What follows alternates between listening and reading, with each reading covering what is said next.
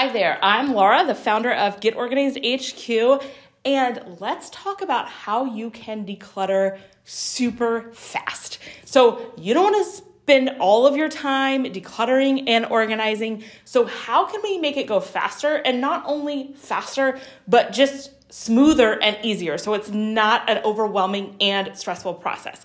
So I think you're going to be surprised how easy this method is.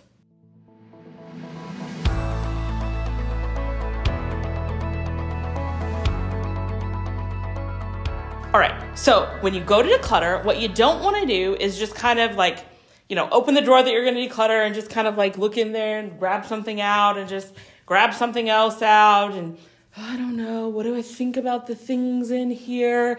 And then this is what you really don't want to do is you pull something out and then tell me how many times you've done this because I know I have. Then you go on a whole rabbit trail with it. You're like, do I really need this?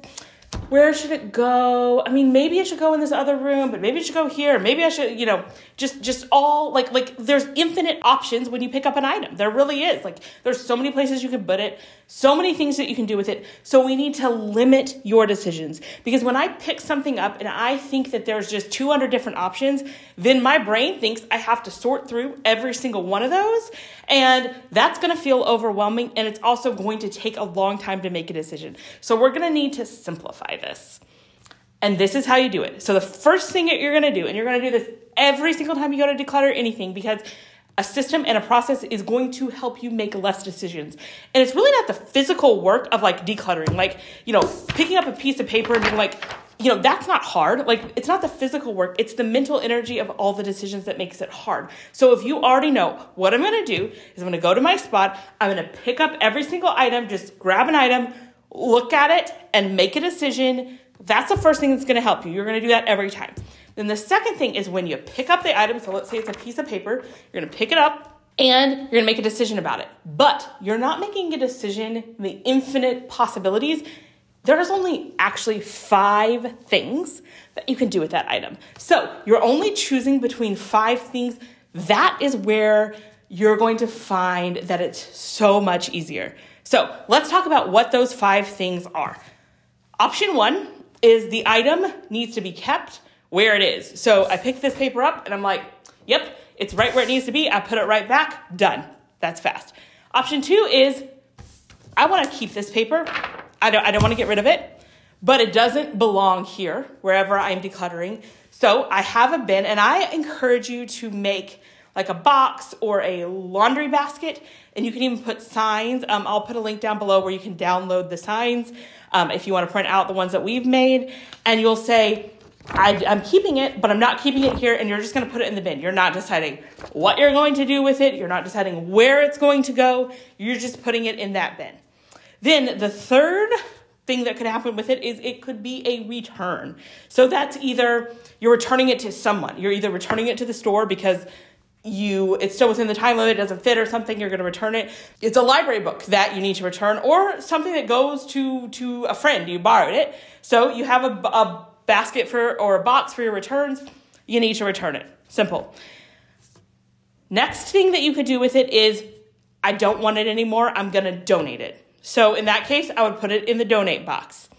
And the fifth thing is it could be literal trash. Like that's actually the easiest category. So either it's just like a wrapper, it's literal trash, or this thing isn't even worth donating. Like it's broken, it doesn't really work, nobody else is gonna want this, so I'm gonna trash it. So that's it. There's only five things that can happen. So when you're decluttering, do not get distracted. You're not at the point of decluttering and organizing each space, you do not have the responsibility at that time of thinking about what happens after you put it in the category that it goes in.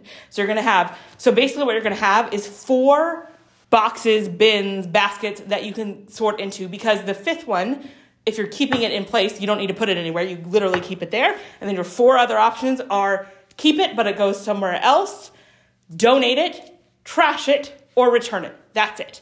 So then, once your decluttering session is over, that's when you decide to do with, what to do with those things.